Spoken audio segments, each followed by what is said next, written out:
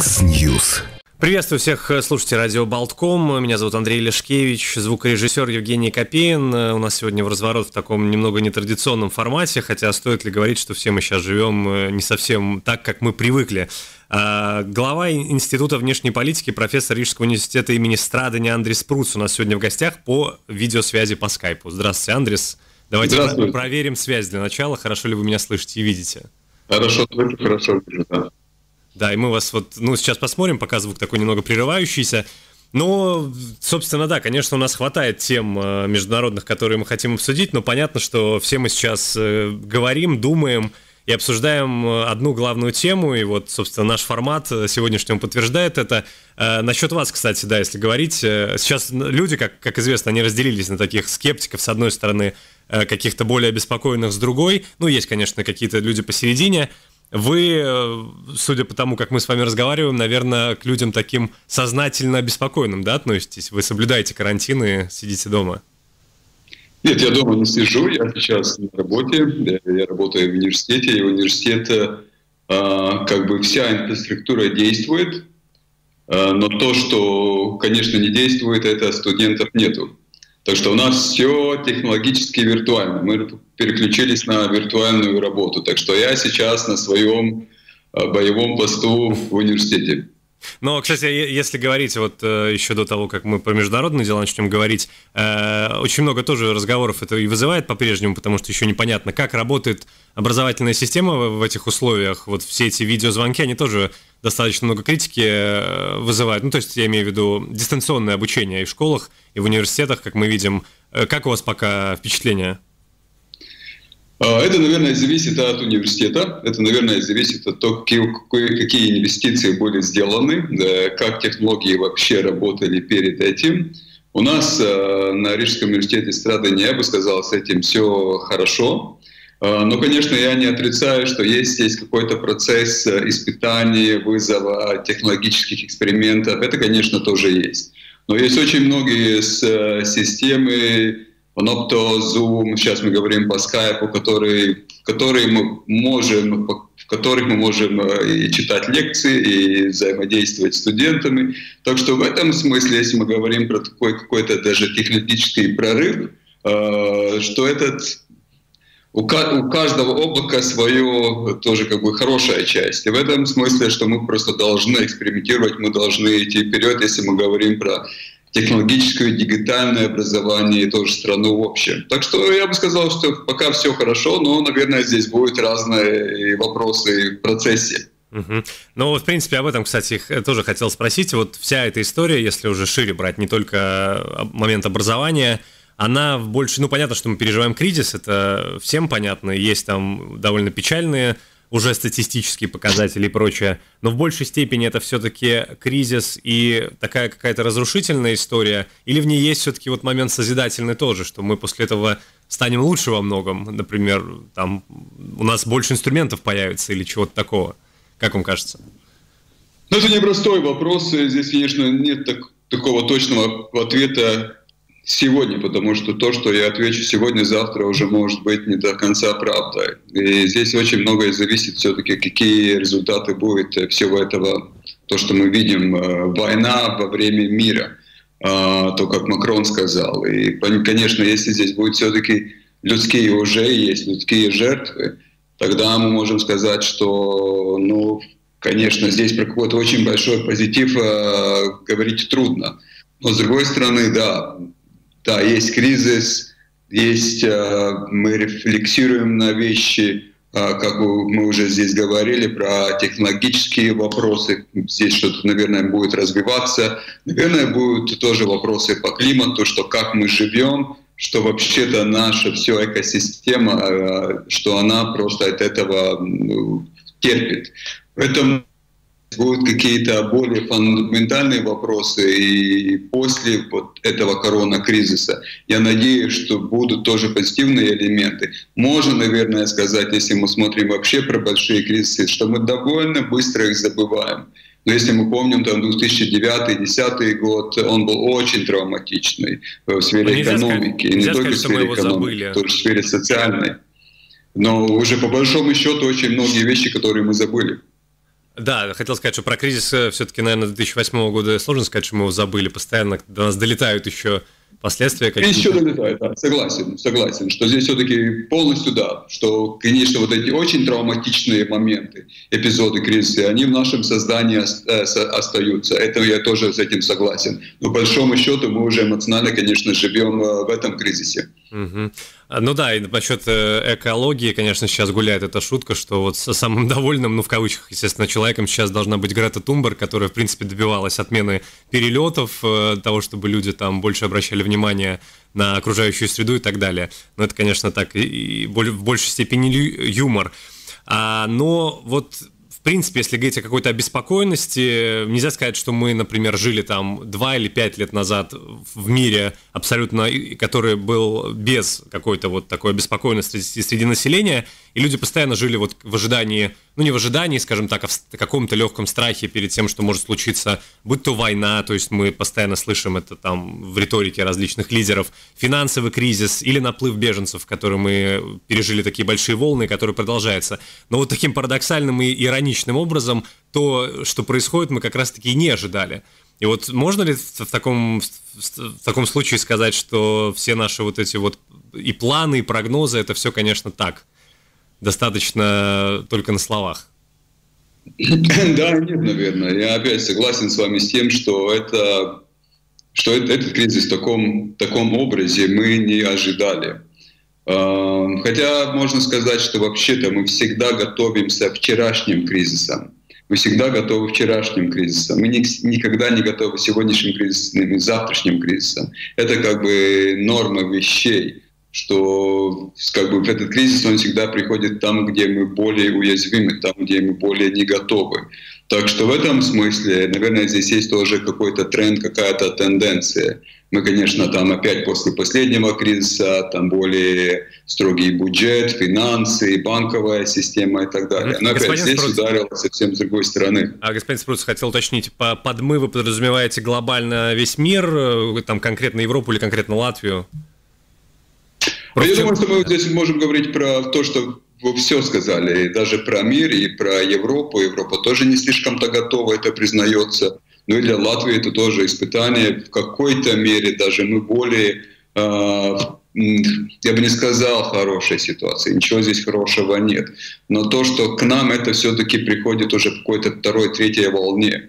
Мы, конечно, видели здесь Китай, потом мы видим сейчас Италия, мы видим, конечно, тоже там Германия. Но и сейчас, по большому счету, у нас э, начинается и то, что сегодня уже вдобавок нам получается уже 14 человек, 15 человек. Э, так что это Наверное, когда люди тоже приедут, еще будет э, потенциально этот все-таки прирост тех, которые больны, но мы уже немножко можем учиться от тех, э, как бы тоже не, не, не, не, не совсем э, простых выборов, что, например, другие страны уже, как Италия, уже делала или не делала. И можем что-то научиться к этому. Угу.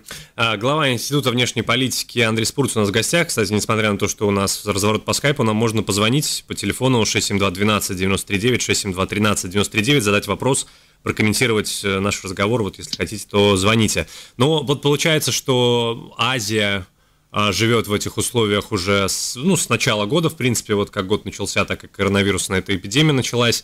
А Европа немножко позже, ну то есть я имею в виду, что какое-то время уже прошло, как минимум там два с половиной месяца. Если мы говорим о международном таком плане, вот, э, да, немножко так выше поднимаемся, международные отношения, уже намечены какие-то тенденции? Потому что часто слышно, что после этого, после того, как мы преодолеем, все надеются, что мы преодолеем этот кризис, в мире наступит как некий новый порядок, все-таки уже мир не будет прежним. И вот если мы говорим о международных отношениях, о той же внешней политике, есть какие-то тенденции, которые вы уже э, зафиксировали и наблюдаете? Я думаю, что мы преодолеем, и позитивный элемент, позитивная тенденция – это то, что все-таки сейчас произошло опять позитивное, но все как бы условно. Но то, что Китай все-таки по большому счету начинает выходить из этого корона-кризиса. Очень много, конечно, больных, очень много жертв, а, но сейчас уже прирост э, ну, вот больных, он уже остановился. Как бы два три месяца, и все-таки видим уже что-то, что начинает кончаться в плохом смысле этого слова э, в Китае. Даже если мы смотрим про компанию Apple, она закрыла все свои магазины во всем мире, но она опять уже открыла в Китае.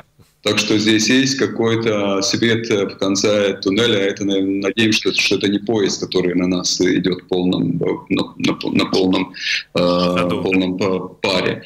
Э, поэтому, наверное, что все-таки здесь ну, будет э, когда-то, и я надеюсь, что все-таки это не слишком затянется, но опять здесь трудно, трудно сказать точно. Э, Китай немножко другая страна, Китай все-таки более авторитарная страна, там можно сказать, и 10 миллионов будет э, просто сидеть в домах. Европа немножко другая. Конечно, Европа тоже более уязвима в ситуации экономики. Поэтому, если мы уже говорим про большие вещи, но здесь несколько элементов. Один, я бы не сказал, что это очень слишком поменяет всю геополитику мира. Наверное, что здесь все-таки игроки, которые они есть, они останутся. Это во-первых. Во-вторых, эм, наверное, все-таки мы можем сказать, что европейская вот эта ну, ну, и часть игры, что Европа в этом всем, наверное, все-таки может утратить побольше всех. А, она более уязвима, она более экономически все-таки такая хрупкая. И если мы говорим про но опять экономику, тогда большие экономики, как Китай, как Соединенные Штаты, они все-таки могут выйти из экономического, этого экономического кризиса все-таки получше. Европа все-таки здесь может терпеть побольше. Поэтому то, что уже намечалось в начале февраля, когда была большая Мюнхенская конференция, вот это английское слово «bestlessness», что меньше Запада. Наверное, здесь можно сказать, уточнить, наверное, еще меньше Европы в мировой игре после этого кризиса хотя бы на какое-то время, потому что Европа будет заниматься сейчас очень по большому счету собой, своей экономикой и как бы пробовать выходить из этого кризиса, потому что здесь даже Европейский Союз, кто-то уже говорит, что этот кризис даже может ударить по таким фундаментам а, Европейского Союза, потому что каждая страна действует просто по, по своим национальным интересам. Мы это видим очень конкретно на границах. Границ, границы закрылись. И наши люди, польская, немецкая граница просто, пост, просто закрылась, просто не могут приехать в Латвию. Да, Брексит на этом фоне, наверное, уже кажется чем-то несерьезным совершенно, да, несущественным. А, да, да. Вот как раз по поводу того, что страны, как бы Европа действует, Евросоюз сейчас как будто бы не централизованно, все страны действительно начали э, действовать в своих интересах, и вообще речь идет о том, вот идет ли она об этом, что это определенный кризис для процесса глобализации, и Евросоюз, который во многом на этом построен, разные страны, все едины, объединены, э, вот насколько это, этот процесс, он как бы на всех уровнях может сворачиваться из-за коронавируса, как вам кажется? Ну, опять, наверное, очень, очень важные вопросы. И здесь э, все-таки есть какая-то тенденция, уже которая, она не только из коронавируса, тенденция, которую мы наблюдаем. Как уже Марин Ле Пен когда-то сказала, что сейчас вообще-то такая, такой конфликт между патриотами и глобалистами. Что есть, которые считают, что глобаль, глобальное миро, как бы устройство это хорошо, а что это привело к миру, это привело к взаимодействию и торговле, и идентификации торговли. Но, конечно, это затрагивает конкретные страны, конкретные интересы, культурные традиции и так далее. И что вот здесь все-таки это противоречие, оно уже какое-то время существует. Если опять мы смотрим, смотрим по Трампа, про Бориса Джонсона, про Брексит – но это люди, которые показывают, что вообще-то вот это национальные интересы, они уже на столе какие-то э, годы, и что национализация, суверенизация, то есть суверенитет, суверенитет э, над вот глобализацией, он уже существует. Опять, если мы смотрим там американско-китайская технологическая война, мы говорили про глобальные универсальные технологии. Сейчас каждая страна, каждый блок начинает развивать э, как бы свои технологии. Как в России мы говорим про интернет, что сейчас будет как бы свой интернет уже, свои технологии. Поэтому на это наблюдается. Да, э, вот в этой связи едва ли, едва ли можно сказать, что это выгодно. выгодно. Да, господин Спруц, вы меня слышите? Да-да. Ага. Я а, слышу, да. Да, вот что касается того, что, о чем вы сейчас говорили, едва ли можно сказать, что это выгодно, наверное, для Латвии, или вот если брать регион, э, национальные интересы, безусловно, но все-таки у нас, кстати, в студии был э, ваш зам, я так понимаю, господин Буковский, да, он вашим замом является, заместителем. Я немножко вас теряю, все-таки технологии да, не всегда...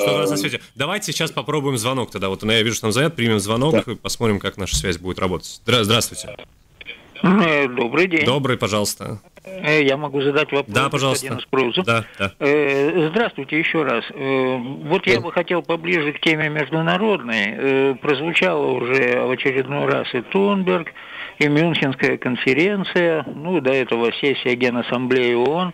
Вот, э, господин Спруц, вам не кажется, что участникам всех этих вот мероприятий должно быть стыдно, что они за все это время, обсуждая тему вот, глобальных изменений в климате на планете, ни разу не упомянули имя Тофлера, а постоянно тыщут пальцем э, в госпожу э, Тунберг. Ведь столкновение с будущим, э, труд этого футуролога, ученого, свет увидел еще в 1974 году. И именно из-за серьезности этих прогнозов команда Никсона, он был тогда при власти, создала специальную команду комиссию для того, чтобы изучать эти проблемы. Там были серьезные ребята, и они пришли к выводу, что проблема решения не имеет. Вернее, единственное решение этой проблемы – это изменение образа жизни э, капиталистического общества. То есть снижение уровня потребления, организованное до разумного, так сказать, э, до разумных потребностей,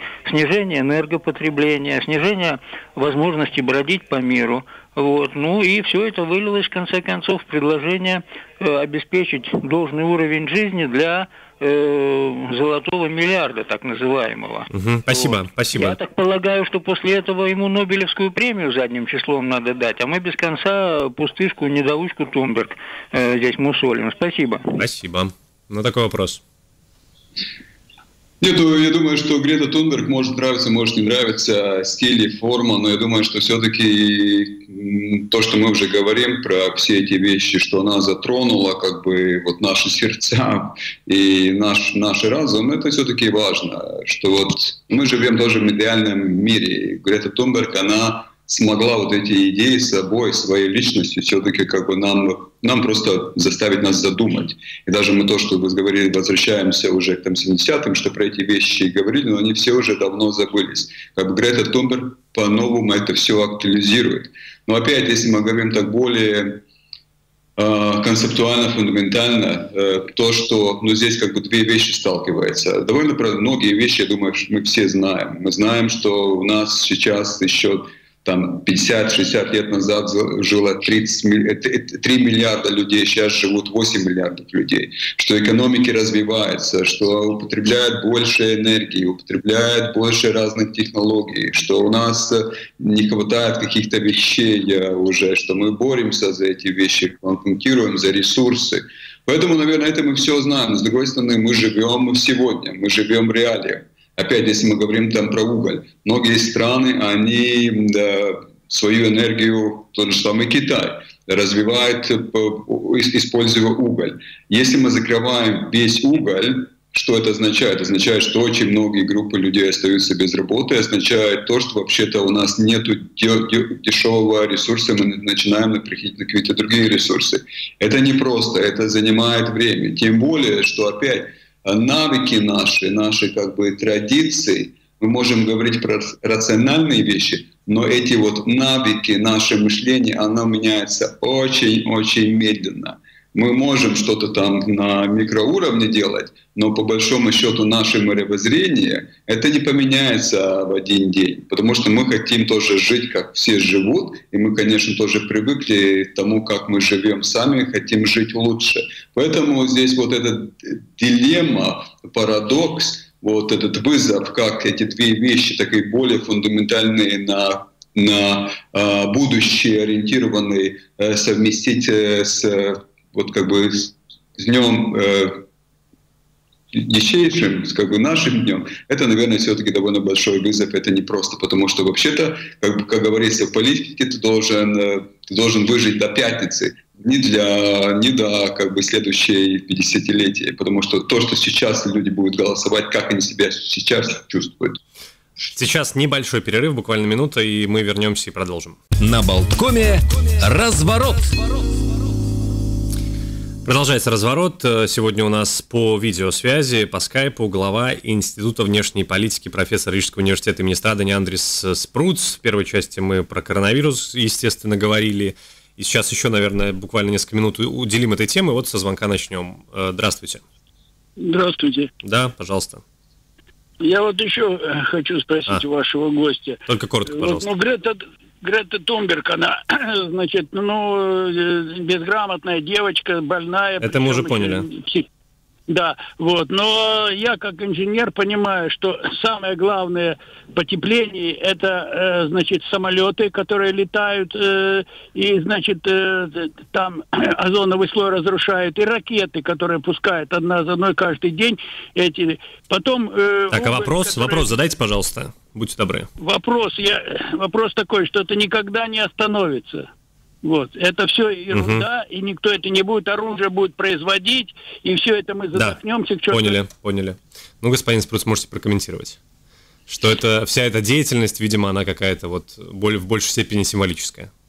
Нет, я думаю, что мы можем какие-то вещи остановить, потому что если мы говорим опять про озоновую, озоновую дыру, которая существовала, а сейчас уже она не существует, потому что вообще-то уже были все эти газы, которые очень создавали вот эту озоновую дыру, они э, были конкретные шаги сделаны. Здесь мы, конечно, говорим немножко про другой, более фундаментальный, более трудный э, вызов. Это уже про вот этот газовый, газ, газовое тепление, которое все-таки более фундаментально и зависит практически от от нашей индустрии, от нашего а, как бы, стандартов жизни, как мы себя, как мы живем, как мы ведем, как мы работаем, как мы производим. Поэтому, наверное, здесь будет потруднее. Но, с другой стороны, все-таки, вот я опять возвращаясь к Грета Тунберг, есть личности, которые меняют какую-то парадигму которые меняют наше э, мировоззрение. Я бы не сказал, что это поменяло всех, и как уважаемый слушатель, наверное, здесь не будет меняться, как наше, наше мировоззрение,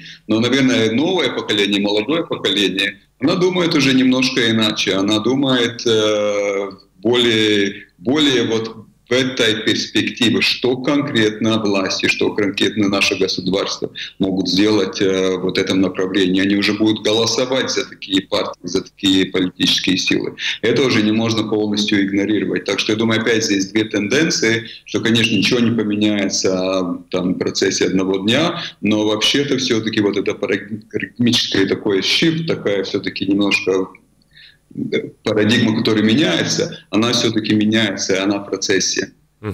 Если говорить вот о кризисе, вызванном коронавирусом, э, и о государствах, о лидерах, о системах и даже режимах, если так можно сказать, а кому в большей степени это все выгодно? Вот каким-то авторитарным и консервативным лидерам, которые могут сейчас э, ну, заявить, что необходимо укреплять систему в это непростое время там, и так далее, или все-таки э, оппозиции власти, там, борцам так называемым за демократию, у них появляется шанс в условиях какой-то экономики ослабшей. Как вам кажется? Ну, здесь очень, опять, разные игроки, как бы по разным, по разным уровням можно говорить. Во-первых, если мы говорим про мировую как бы, экономику и политику, тогда я не, не могу сейчас на конкретный день сказать, что вообще-то для Китая здесь может быть потенциальный выигрыш. Хотя опять, вообще-то коронавирус создался, он начинает мутировать и от Китая. В Китае вначале очень было много жертв и много болезней, но все-таки вот этот авторитарный режим показал, что он довольно эффективен. Так что здесь будет вопрос, который из моделей, который из э, вот этих властных структур, которые более эффективен в ситуации кризиса.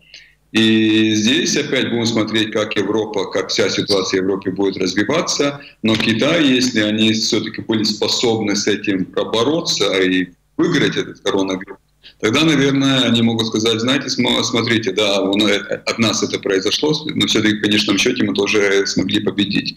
Посмотрим, как это будет в Европе. А, опять Европа не будет меняться, что там сразу что-то что меняется. Но с другой стороны, все-таки вот этот элемент инстинкта национализации, суверенизации, что более мы все ответственность сами за себя, и мы не можем полагаться на себя, наверное, что эти, эти тенденции, они могут быть сейчас довольно сильны, э, например, в европейском обществе. Угу. А, наверное, да, вот я вот смотрю на часы, нам надо на другие темы уже переходить, но последнее, наверное, по коронавирусу. Вот в январе вы традиционно презентовали я имею в виду институт, э, ежегодное издание внешней да. политики, вот отмечали, э, говорили о прошедшем годе, о будущем, естественно, ну и говорили, что вот будущий год, он, конечно, будет непростым, он действительно выдается очень непростым, и мы уже за три месяца успели пережить и ирано-американский такой микрокризис, и обострение в Сирии очередное, и вот с нефтью, тут все непонятно, теперь еще и коронавирус. Э, понятно, я не призываю вам, вас выступать в роли какого-то провидца, но как вам кажется, вот этот год еще может принести еще какие-то события, которые перекроют эти, и в январе вы будете, ваше издание, оно э, будет толще, наверное, в три раза, чем было это январское издание.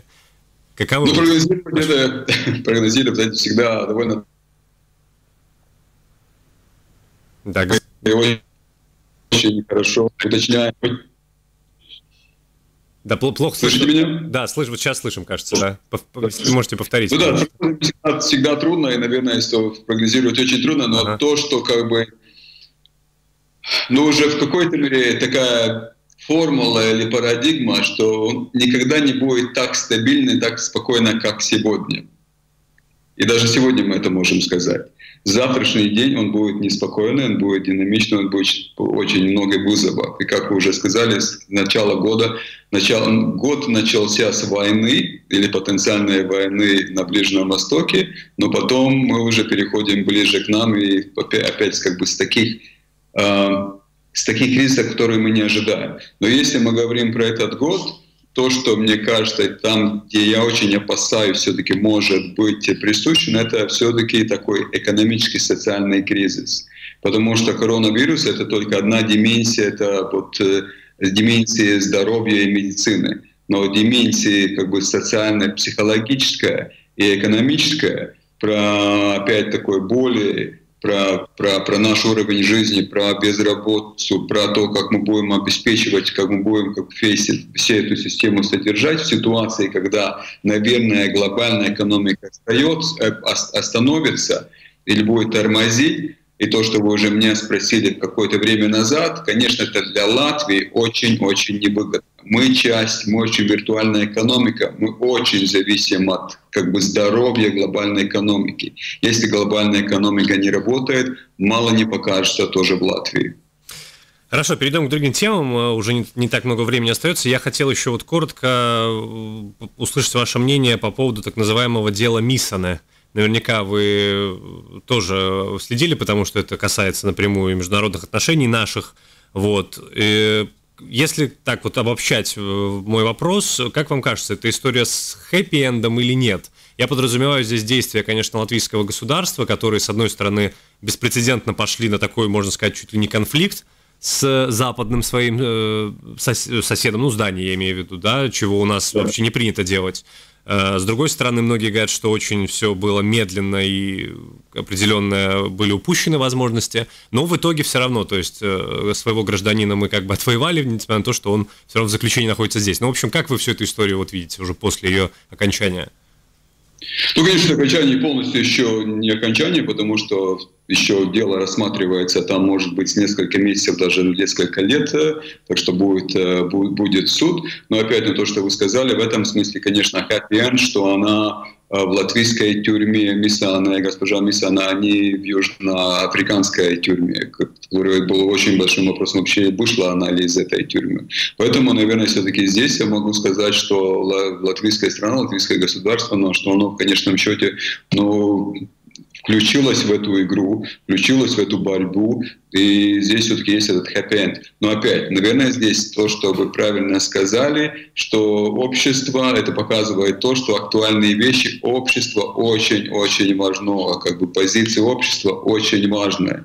А позиция общества может толкнуть в одном или другом направлении, как государство действует. И, конечно, опять мы можем говорить очень профессионально уже, когда государство, вот эта машинерия начинала работать, она профессионально такая нашла, э, я бы сказал, творческие решения, и как бы все институции, когда уже тоже президент сказал, давайте сейчас сидимся за стол и как мы можем к этому подойти, а, но, конечно, был уже такой общественный резонанс. Это показывает, что вообще-то в хорошем смысле этого слова у нас демократия, что государство, она не может игнорировать, как общество как бы думает, какие ожидания общества тоже, что государство будет делать. Здесь уже э, общественное мнение ну, как бы все-таки подтолкнуло государство работать эффективно, творчественно, в конечном счете, с хэппи-эндом.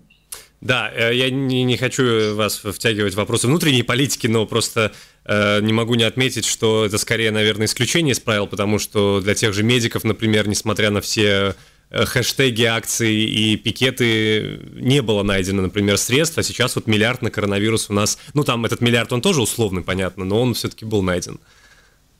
Ну, условно, да. И будем смотреть, как, как он же еще не найден, он как бы найден да, да, да. в цифрах и теоретически. Посмотрим, как это будет действовать в реалиях, потому что это, мне кажется, не так-то просто. Конечно, то, что было найдено, что вообще мы можем так. держать. Это более как бы, ну, европейская позиция. Но я согласен, что все вопросы, наверное, что будут очень многие вопросы, которые ну, не будут решены, где будет давление, но опять это давление может не э, привести к результатам. А, хорошо, да, у нас вот много звонков, на самом деле, давайте еще один, наверное, примем. Слушаем вас, добрый день. Э, добрый день. Я хотел задать вопрос уважаемому профессору. Ситуацию в случае с госпожой Миссоне, что чиновники, которые должны были выполнить свою работу, э, как бы выполнили и за выполненную ими работу, за которую они получают, естественно, зарплату, получили достаточно внушительные премии. Я считаю, что это несколько неэтично. Спасибо. Угу, спасибо. Господин Спруц? Ну, это непростой вопрос. Мы, конечно, не, да, не знаем, не знаем таких как бы деталей. И с одной стороны, можно согласиться, что как бы чиновник, он работает, он э, работает на благо государства, и он просто работает. И здесь нет как бы, он должен защищать своих граждан или в Латвии, или за границей Латвии, и как бы можно смотреть с этой стороны. Но с другой стороны, конечно, если все-таки здесь была очень активная работа, если здесь были добавок ночные часы, что как бы, люди работали еще во время поза своим временем. Э, они, конечно, может, люди могут, и чиновники могут подходить формально к своим вещам. И в конечном счете все-таки удалось этот happy-end, но я бы сказал, премия, то, что люди получают, и им дается даже сигнал, да, мы должны воевать за своих людей, но если как бы у нас удастся и, и еще больше таких вещей, как бы так, таких примеров привести, тогда все-таки здесь есть возможность получить какое-то награждение э, финансовые. Так что я думаю, что да, ну, я, бы, я, бы, я бы сказал, что нормально, что люди, которые были активно включены, что они получили премию, хотя ну, по большому счету мы можем ожидать от наших государственных институций, от чиновников, что они это будут делать и потому что это часть их работы. А, хорошо, еще по одной теме, которая вот за всеми последними событиями уже немножко подзабылась, хотелось бы вас спросить, это санкции США по отношению к Венспилсу и к Айвору Лембрексу. В первую очередь, э, и тут у меня тоже такой конкретный вопрос, я уже читал, что вы комментировали это, эту тему и сказали, что вся эта история с санкциями, она значит, позволила нам взглянуть на самих себя и увидеть, что у нас еще очень сильно советское наследие так вы сказали. Мне интересно узнать, э, в чем конкретно это наследие заключается, и, может быть, э, вы могли бы сказать, в чем оно проявляется помимо теперь вот как бы Лембергса получается, таким образом как-то вот, ну, не ликвидировали, но нанесли определенный по этому наследию удар. Что еще остается в таком случае? Я думаю, что очень много остается, хотя уже 30 лет прошло, но опять э, мышление поколений меняется очень медленно. Но если мы опять мы смотрим про, само, про самого господина Лембергса, тогда вообще-то ну, он уже руководит с городом советских времен. Э, он один из ну, феноменов, но я думаю, что если мы так посмотрим, довольно многие люди еще и лидеры там каких-то э, городов и, и институций, которые руководят очень долгое время. Как бы еще Советский Союз, он остался даже ну, в судьбах людей, они активные, можно сказать, что здесь есть позитивные элементы, но вообще-то мы наследуем еще поколение, потому что люди, которые выиграли на, ну, на на независимость, экономически это поколение 30-летнее. Летних. Это было тогда поколение где-то 30, 30 это золо, такое золотое поколение. У них сейчас где-то примерно 60 лет. Они еще довольно активны, они присущи. Но мышление, они это все-таки наследовали что Советского Союза. Это политическая бизнес-культура. У нас очень много неформальных вещей лучше иметь этот 100 друзей, чем 100 рублей, что связи, они важны, что формы, они не так важны, что э, как бы формальные вещи, они не так важны. Самое главное, с кем ты как связан. Я не хочу говорить, что это единственная вещь. Это одна из тенденций, одна из наследий, которая еще-то где-то все-таки присуща. Как мы подходим к вещам, как мы думаем, думаем про вещи. Если мы говорим про институции, то, что мы уже говорили, что институции тоже, наверное, что вот этот демократический опыт, как общество взаимодействует институциями, она еще все время развивается. И госпожа Мисса, она с одной стороны это маленькая вещь, но с другой стороны это показывает, что вообще-то общественное мнение, что она может подталкивать. И это хорошо. Это опять, ну как бы вопрос, ну когда вообще-то государство, государственные учреждения, они должны работать. И это хорошо, что общество включается, и молодое поколение в это включается. Поэтому здесь есть какой-то гибрид из разных вещей, европеизация и западные вещи, и более как бы уже наш, нашего времени тенденции. Но, наверное, все-таки наследие Советского Союза, наследие советского мышления, политической бизнес-культуры, оно полностью никуда не ушло из нашей э, э, жизни. Коротко, если на высшем, э, вот высшем руководстве страны это проявляет, по-прежнему проявляется, тоже ощущается, как вам кажется? Ну, правительство. Правительство ну, Сейм. Наверное, пришло уже все-таки довольно молодое поколение. И опять, если мы смотрим, смотрим на поколение, наверное, что так физически нет, но опять это поколение, она же все-таки росло и э, формировалось при, при, при прошлом поколении. Поэтому это поколение тоже немножко все-таки взяло того поколения, от тех тенденций, от тех, как я уже говорил, элементов культуры бизнеса и политики, а как это существовало в 90-е годы и немножко там еще попозже. Поэтому я думаю, что это даже мы не можем так идентифицировать. Вот здесь этот элемент в голове, а здесь другой элемент. Но какая-то тенденция, какое-то продолжение, какой-то как вот этот continuity, наверное, все-таки остается и тоже в новом поколении. Как мы смотрим на политику, как мы смотрим на взаимодействие, как мы смотрим на бизнес. И вот это тоже быстрые деньги, давай, давайте сделаем быстрые деньги, э, давай что-то купим, давай что-то продадим. Наверное, опять как бы не будем создавать. А, ну, наверное, где-то есть эта тенденция, все-таки еще она остается, она еще присуща. Хотя опять, я думаю, мы очень большие шаги, очень большие уже, ну, как бы развитие тоже сделали. Это тоже не отрицается. А, напоследок, наверное, о вот наших отношениях с соседями хотелось бы еще в двух словах поговорить. Ну, конечно, я имею в виду в первую очередь э, так называемых восточных соседей, потому что с Литвой и Эстонией там все достаточно проще, хотя тоже у нас есть и с Литвой там э, железнодорожные всякие вопросы, и с, с, с Эстонией алкогольные, кстати. Но окей, э, Белоруссия и Россия в первую очередь.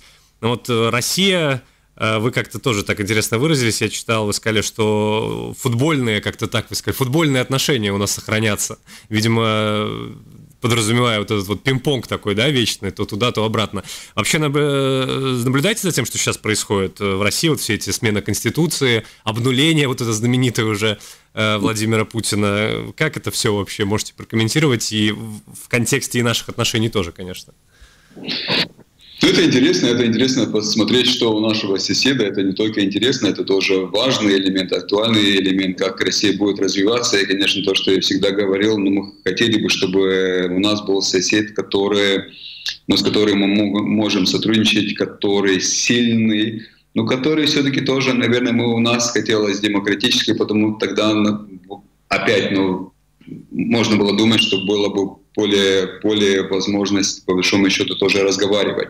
А, все-таки более с авторитарным а, страной, где лидер должен все время думать, как он легитимизирует свой, свой, свою систему. Наверное, тогда довольно трудно. И то, что опять случилось в Украине, то, что случилось с Крымом, с аннексией Крыма, но для нас это очень травматичное, э, опять то, что наследие в нашей, в наших головах, что мы не можем это игнорировать, что большая страна, она ну, начинает аннексировать какие-то территории. Поэтому здесь есть несколько элементов. А, но с другой стороны, опять, футбол продолжится по очень многим вопросам, но с другой стороны, мы экономически опять в какой-то мере связаны, мы соседи, и как Марк Твен говорил, что хорошие соседи — это когда большая стена между соседями, но, наверное, стену мы все-таки не построим между нами. Поэтому искать какие-то точки взаимодействия, тем более в сфере экономики, в сфере культуры, они важны. Но опять по таким политическим вопросам, но здесь все-таки останется и такое все-таки опасение, что Россия может э, делать в международных отношениях, что она большой игрок, что у нее большие амбиции. И демократически, наверное, что мы можем здесь прогнозировать, что в ближайшее время ну, путинская система, что она останется, и Путин будет э, лидером страны, который, конечно, страну, но будет показывать как бы, ну, сильной стороны, что это сильная страна, что с ней должны, ее должны уважать, если даже не бояться. И это, наверное, отношения наши не улучшит. Спасибо большое, господин Спруц. Время наше подошло к концу. Глава Института внешней политики, профессор университета имени Страдани Андрей Спруц был у нас сегодня по видеосвязи. Еще раз большое спасибо, что нашли, нашли возможность побеседовать. Всего вам хорошего и до свидания. И здоровья, да, спасибо всем. До свидания. Да, спасибо всем. До свидания. Да, спасибо всем. До свидания. Да, спасибо всем. До свидания. Да, спасибо всем. До свидания.